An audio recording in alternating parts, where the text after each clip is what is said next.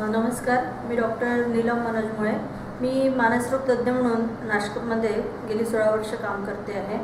शिवाय आजचा समाज आणि त्यातले आजचे युवा पिढी ही खूप महत्त्वाचा विषय मी माझ्या हाती घेतला आहे. कारण आजच्या पिढीमध्ये जो तुटत चाललेला संवाद आहे घरा प्रत्येक घरामध्ये जे लोक बोलत नाही आहेत एकमेकांसोबत आणि हा संवाद जो तुटत चालला आहे त्यामुळे त्याचा होणारा परिणाम बऱ्याच वेळा आम्हाला आत्महत्या अशा प प्रमाणात बघायला मिळतं आहे. वाढत्या आत्महत्या. त्यामुळे मी त्याच्यावर काम करते आहे. माझा फोकस हाच आहे की समाजामध्ये जो ज्या पद्धतीने आपला मानसिक आजार वाढत चाललेला आहे त्याविषयी मी काम करते आहे. जास्तीत जास्त अवेअरनेस समाजामध्ये मानसरोगांविषयी व्हावा. मानसरोगच नाही म्हणता येणार तर त्यापासून वाढत चाललेली मानसिकता आणि तुटत चाललेला संवाद हा किती कारणीभूत ठरू शकतो एखाद्या मानसिक आजारासाठी? हा माझा मुख्य विषय आहे समाजासाठी. आणि मी यासाठी अनेक ठिकाणी प्रबोधनात्मक कार्यक्रम घेत असते. अवेअरनेससाठी हे कार्यक्रम घेत असते माहितीद्वारा. कार्यक्रमाच्या माध्यमातून पत्र प्रे पेपरच्या माध्यमातून.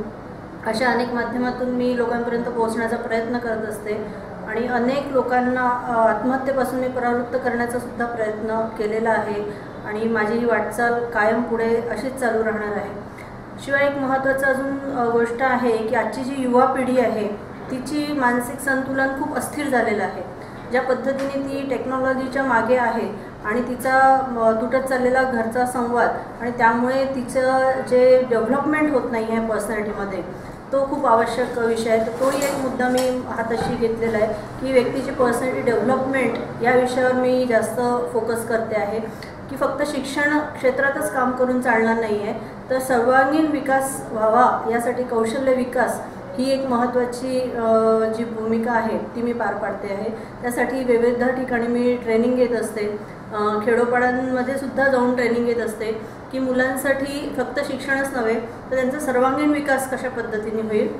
त्यांची मानसिकता सदृढ कशा पद्धतीने होईल यावर मी काम करत आहे. आणि या पद्धतीनेच आपला समाज सदृढ होईल असं माझी भावना आहे. कारण आजची युवा पिढी जर का सशक्त असेल विचारांनी तर निश्चितच आपल्या समाजावर त्याचा परिणाम होणार आहे. आणि आपण एक समाजाला चांगली पिढी घडवू शकेल याचं मला माझ्या कामापासून खूप मोठं समाधान मिळणार आहे. अशा पद्धतीने माझं काम चाललं आहे शिवाय मी कलाक्षेत्रात सुद्धा काम करते आहे. सिने क्षेत्रात काम करते. एक क्रीडा क्षेत्रामध्ये सुद्धा माझं काम आहे. गेले आयुष्यातले काही वर्ष मी क्रीडा क्षेत्रात घालवलेले आहेत. शिवाय मी भारताचे नेतृत्वसुद्धा केलेले आहेत. माझे नॅशनल इंटरनॅशनल अशा अनेक गेमांमध्ये मला ढाल आणि पदके देऊन सन्मानित करण्यात आलेलं आहे. लेखक म्हणून सुद्धा मी काम करते आहे. माझी काही पुस्तकं प्रकाशित झालेली आहेत. त्यामध्ये M P S C U P S C हा एक महत्त्वाचा विषय आहे की त्यांना त्या मुलांना अभ्यास कसा करावा ही गाईडलाईन त्या पुस्तकाद्वारे दिल्या गेली आहे.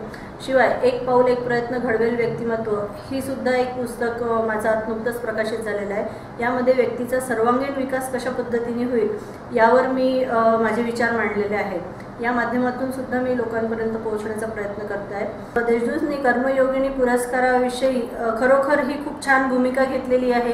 या निमित्ताने नाशिकमधल्या अनेक माझ्यासारख्या कार्यकर्त्या एका ठिकाणी आलेल्या आहेत.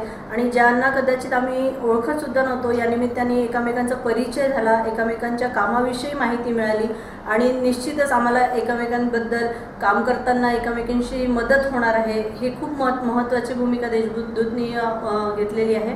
कारण या भूमिकेमुळेच आम्ही एकमेकांच्या संपर्कात आलो आहे समाजाच्या पुढे आलेलो आहे आणि आम्हाला ह्या कार काम करताना देशदूतनी जो पुरस्कार निर्धारित केलेला आहे त्यासाठी नामांकन माझे झालेले आहे. त्यामुळे मी त्यांचे खूप आभारी आहे की त्यांनी मला या गोष्टीसाठी नामांकनित केलेलं आहे.